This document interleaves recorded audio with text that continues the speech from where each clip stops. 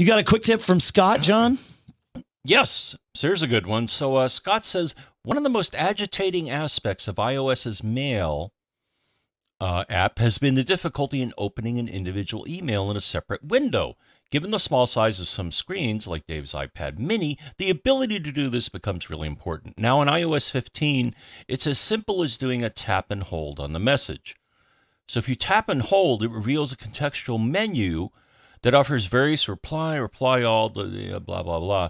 But they have a new selection apparently now that says open in new window, and it does just that. I've attached a screenshot to show what I mean, but trying it on any iPad updated iOS 15 will demonstrate the same thing. I use this a lot now as it maximizes the screen space allocated to a single email, making it much easier to read.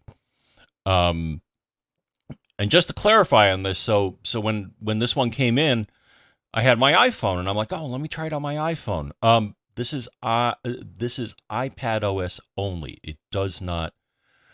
Uh, the iPhone doesn't offer this option, probably because the screen is so small, so it wouldn't really make any difference. Well, you you get mail messages full screen on an iPhone. Yes. Anyway, so, right? You so don't that's have- default behavior. So Yeah. so this is how to kind of coerce uh, iPad OS to uh, to do the same thing for you.